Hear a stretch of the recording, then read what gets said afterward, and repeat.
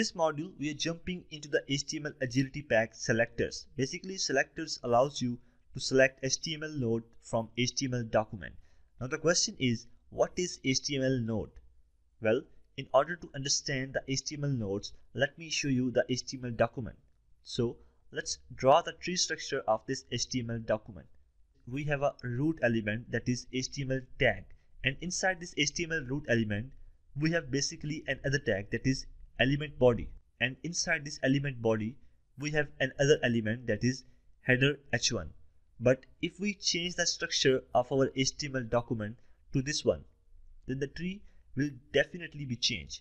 Suppose we need to add a head tag inside the HTML document and a paragraph tag inside our body element then our tree structure will become changed. We call this element as HTML nodes in this module, we are going to explore the two different types of HTML selectors. The one is select single node and the other is select nodes. Let's start with the first one. Suppose we want to get the text value of this header 1 tag. Then we will simply use this select single node.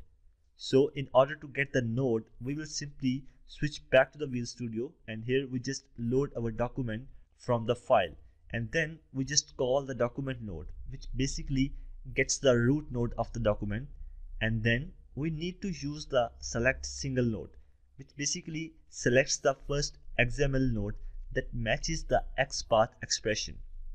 Now what is XPath?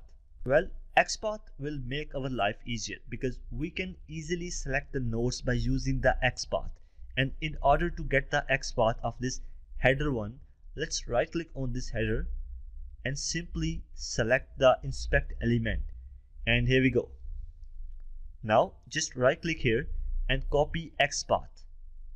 Then simply switch back to the Visual Studio and paste the XPath here in the double quotation. Then simply store the result in some variable and simply print the result to the console window by using console.writeLine alright so we are interested to get the text of this h1 element but if we run this application then you notice that you will not get a text of this h1 element.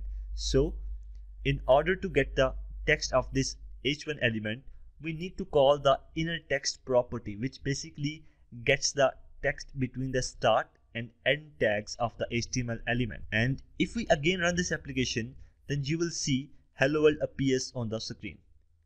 Let's change our scenario what if we don't want the text? Suppose we want to get the href attribute value of the anchor tag or a tag. Then we will need to handle this by another way. So first we need to get the XPath of this anchor tag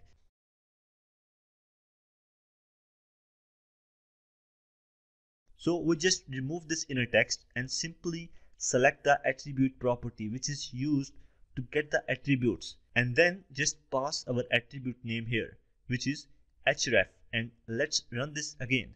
But still we don't get the value of this href attribute.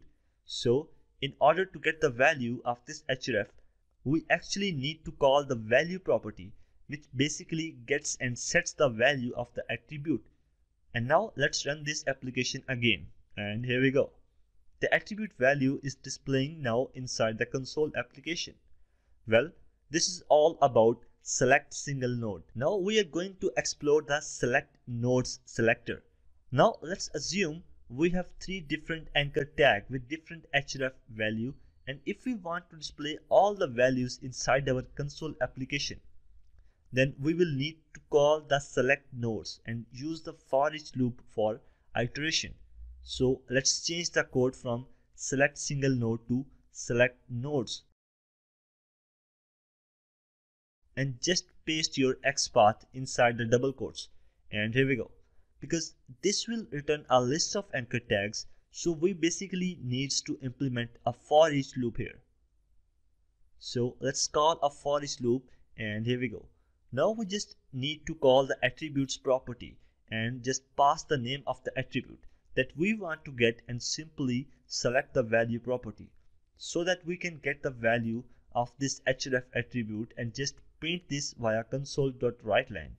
Now let's run the application again And now you will see that all the attribute value of href are currently displaying on the console window. So far, we have covered the parsers and selectors of HTML Agility Pack. In the next module, we're going to explore the manipulation of HTML Agility Pack. See you in the next module.